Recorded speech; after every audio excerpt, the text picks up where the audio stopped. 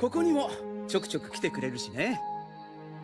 そっか。あれ嘘かも。嘘って？高知山のやつわざとデマを流したのかもしれないな。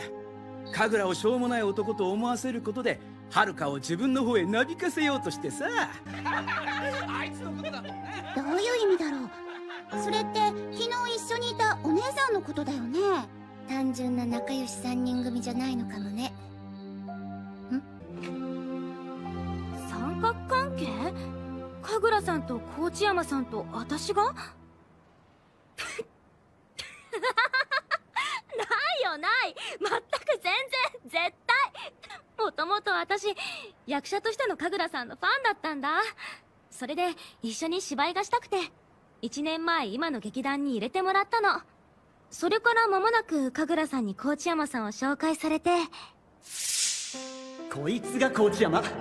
大学からの腐れ縁のバッカ野郎で。ババカ野郎です。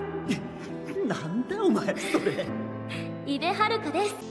恋愛感情とは全然違うのよ。私たち3人は。はあごめん。私もう戻らないと。じゃあね。彼女にはその自覚がなくても。なまあ二人の方が彼女のことをどう思ってるかはでもそれが？